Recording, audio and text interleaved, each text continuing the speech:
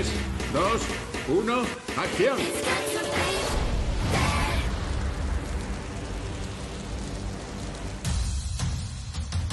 ¡Mirad! ¡Es el día de los hijos de los villanos! Los hijos de los villanos ahora son héroes. Ellos cuatro fueron sacados de la isla, trasladados a Auradon y les fue bien. Es increíble que por En la primera película éramos malos y queríamos hacer daño a los buenos. En la segunda creen que somos buenos y en la tercera podemos ser lo que queramos. Ya no nos avergüenza de dónde somos. Volvemos a nuestro barrio, movilizamos la isla y llevamos buenas noticias. Les decimos a los hijos de los villanos que ahora todos vamos a tener una oportunidad. Así comienza. ¡Vamos! La relación de Mal está cambiando con todos porque su relación consigo misma ha cambiado mucho. Su relación con Ivy sigue igual. Ella es su mejor amiga, pero también necesita distanciarse un poco de ella. Y distanciarse de Jay y de Carlos para convertirse en la persona que está destinada a ser. Yo durante 16 años no he tenido nada. Desde la última vez que vimos a Jay ha encontrado su sitio y el significado de lo que quiere hacer y quién quiere ser como persona. Se está haciendo un hombre. Ser Carlos de nuevo es muy divertido. Es el tipo de chico al que quieres apoyar, cae bien y ser así es divertido. Una de las cualidades que más me gustan de Ivy es su generosidad, su enorme corazón. Lo que hace se guía por ello y eso se ve muy bien en Los Descendientes 3. Aquí vienen. Mal y Ben están locamente enamorados. Me pides que me case contigo y te pones muy romántico. Sí, es verdad. Ben es muy vulnerable.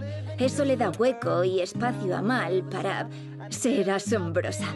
Mal es un dragón. Necesita tener a alguien que sea muy amable, dulce y sensible. Y Ben lo es.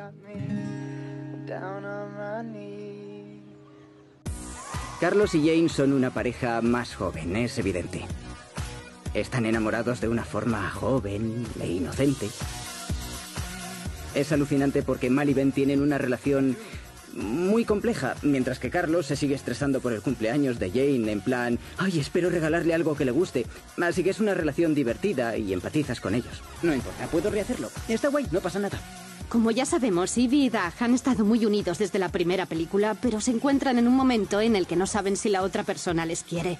La hemos visto convertirse en la joven que es y atravesar la crisis que sufrimos cuando nos enamoramos por primera vez. ¿Qué harías sin ti? Está muy bien volver a interpretar a un personaje que has hecho antes. Sé más sobre él, siento que le conozco y los demás están más unidos a mí. Me hace mucha ilusión ofrecerle ese desarrollo que la gente espera. Es muy inocente y puro y tiene muy buenas cualidades. Perdón, lo siento, lo siento.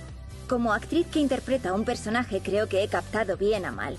Seguramente es mi personaje favorito, así que es increíble haber vuelto y mostrar a dónde va ahora Mal.